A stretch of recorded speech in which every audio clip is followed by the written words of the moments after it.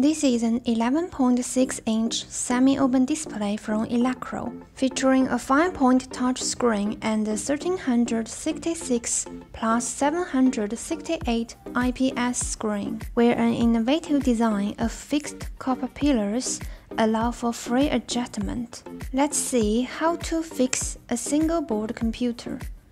Adjust the copper pillars to align with the fixed holes on the Raspberry Pi. Then lock them in place with three screws. This screen also supports most of the boards on the market besides the Raspberry Pi. It is a screen driver board, which requires a 12 voltage power supply and comes with a menu function that enables hardware adjustments of brightness, contrast, and more.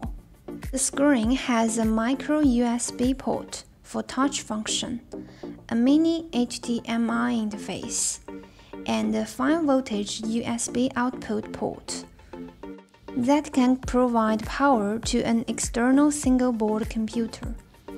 Additionally, there are several other reserved interfaces, such as a headphone jack, speaker interface, and an interface for external menu button PCBA.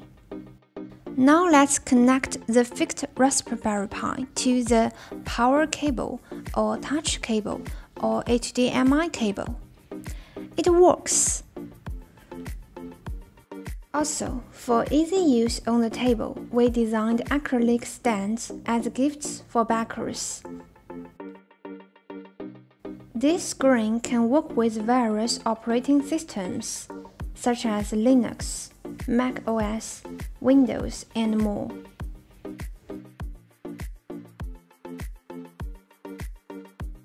We have also designed a shell file that can be used for 3D printing.